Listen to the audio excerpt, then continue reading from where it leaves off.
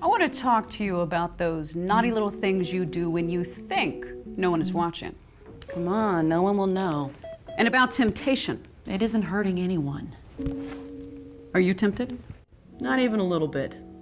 Because I know that illegally downloading lesbian films is just a bad habit that really hurts the entire queer filmmaking community. And what about watching them online for free? Oh, that too. Every time somebody doesn't pay to watch a gay or lesbian film, As tempting as that may be. it's really stealing from the community and the indie filmmakers who work so hard to tell our stories. And it takes a team to tell the stories of our lives. So join our team. Play your part.